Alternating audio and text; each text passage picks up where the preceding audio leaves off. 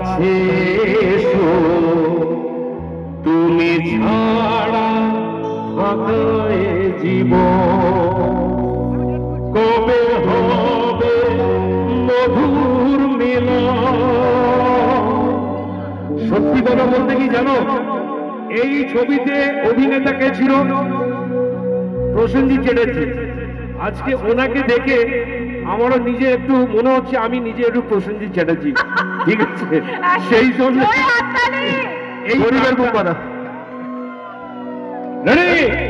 এসো এসো কাছে এসো এসো এসো।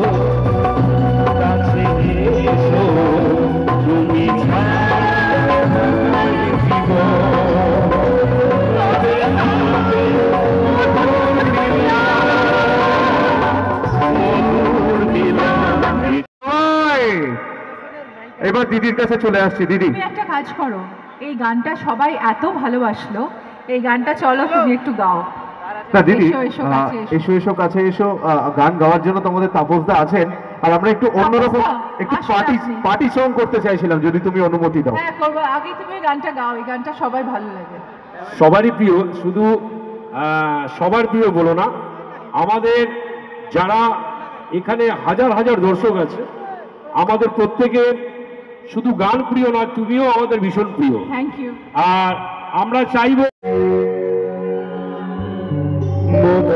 মিলন আজকে মধুর মিলনের দিন।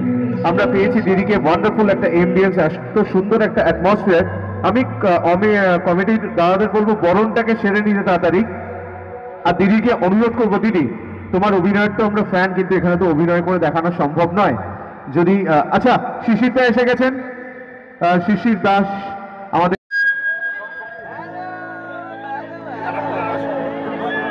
একটা